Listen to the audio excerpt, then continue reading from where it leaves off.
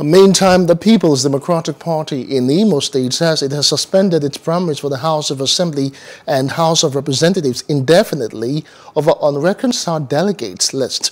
A statement by the legal advisor of the party in the state, Kasinga Ikoku, attributed the non-conduct of the primaries to confusion caused by the National Assembly. Now, Ikoku explained that Imo would not vote along with other states who were now voting with their three-man and one-man national delegate.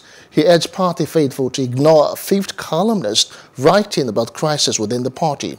According to him, there is none, as the leadership of the party at all levels is working together to make sure ad hoc delegates are cleared to vote at primaries on a uh, date to be announced much later.